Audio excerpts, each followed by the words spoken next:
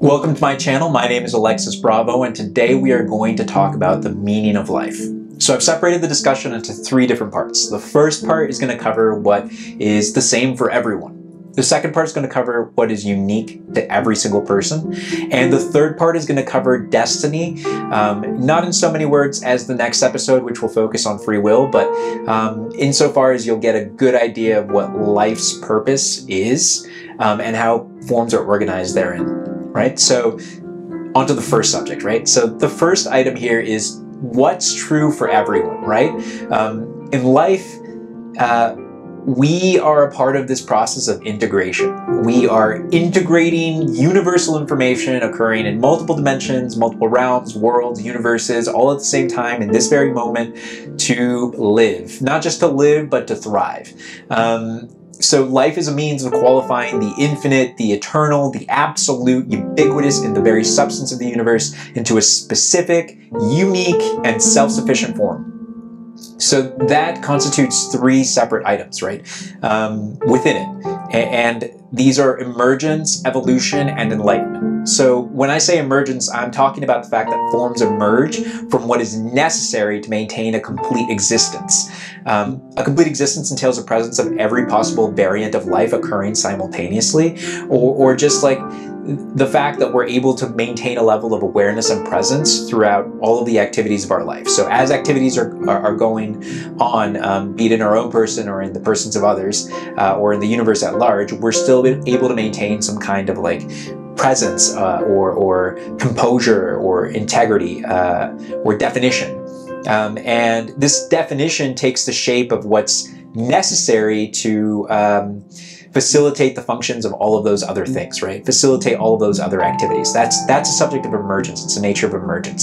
So the second um, kind of item here is uh, the is evolution. And when I say evolution, I'm talking about how forms evolve from what is necessary to maintain a complete expression, uh, a complete ex- or sorry, experience, a complete experience uh, entails the synchronous activity of every possible event in life occurring simultaneously. So it's this it's this idea that all things must come to pass, all things do come to pass.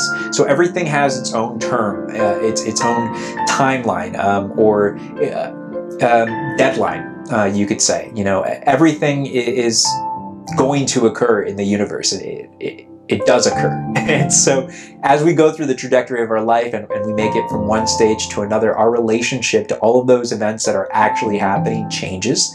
And as they change, um, the uh, events themselves as they manifest and uh, actualize in our life change. And so we evolve from uh, really dense states of, um, of complete ignorance to really high level states of complete enlightenment.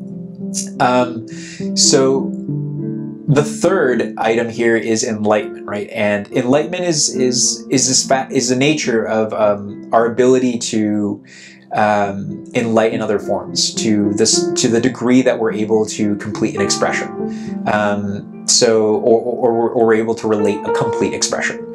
Um, a complete expression entails a fulfillment of all potential nested within all individual forms. So it's not just the expression uh, or the fulfillment of potential in our own individual lives, but it's the fulfillment of potential in any individual life form. It, it's it's the very most that we can do in life as living beings to push forward towards the future, to progress, to to to become perfect, right? That's that's the ultimate aim and object of enlightenment, right? So, it, those three items are the uh, probably the more important factors, uh, if not the most important and essential aspects of the integration of information in life, uh, the thing that our minds or bodies or spirits are always in the process of doing. Um, and that's true for everyone, right? So, second, right, what is unique to everyone. Well, the difference is, if you haven't noticed, there are differences in reality. Everyone has uh, a different experience, at the very least. Um, but there is this notion that we all come into life with different lots, right? Some people are, are very wealthy, some people are very poor, some people are horribly disfigured, some people are very healthy.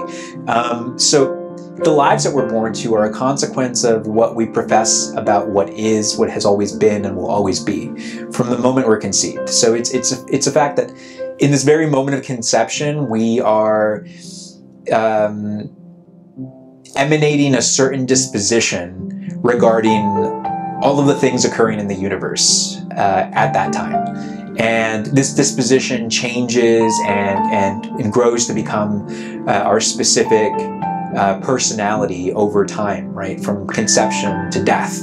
Um, we profess it in the sense that we believe it, right? So our disposition is what we what we believe as a living being as a living being about um, the ultimate nature of the universe.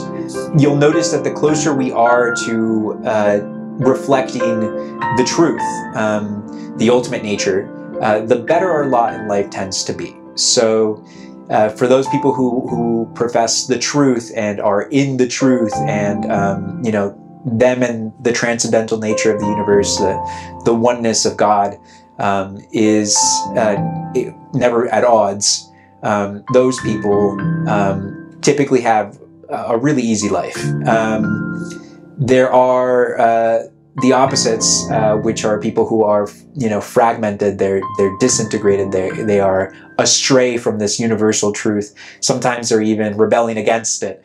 Um, eh, those people find it a lot more difficult to be at peace with the rest of the world, with the rest of the universe in general.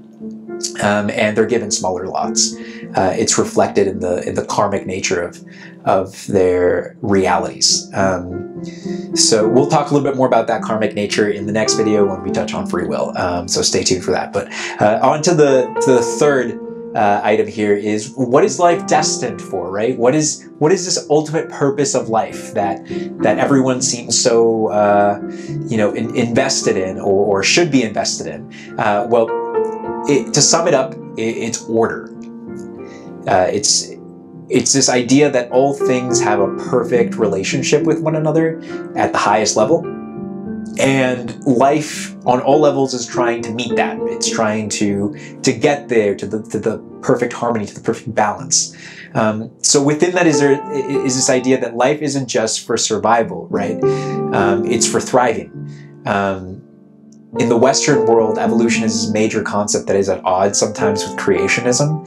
Um, and it focuses a lot on the survival aspect of, of our evolution that um, we change based on what we need to survive in a certain environment right and that's really low level thinking. It's not that evolution is false. Evolution is true and it's true on that level as much as it's true on all other levels but there is a, there's a higher scope here and i think that's what we're, what i'm trying to relate anyway.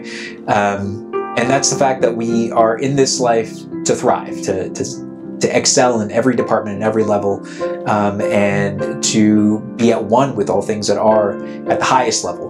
Um, so it's about creating a paradise for ourselves and for our progeny, for the future. Um, about building institutions and um, and monuments to the progress of all life in the universe. Um, it's to bring that sense of peace and, and goodness to um, other worlds or other universes that we may venture to in the future. Um, people who do this better than others uh, typically get ahead in life and they move on to more sophisticated forms uh, in the hereafter. Um, the the work is to create something that outlasts us and to connect us with something that is eternal. So um, things are organized in that way. Things that aren't able to do that in a sophisticated way get lesser forms, like like rocks, um, or uh, or metal, minerals, right? Um, but then you know the more sophisticated its ability to create order, the more sophisticated its vessel, right? So, like human beings uh, or animals, I guess, in general, right?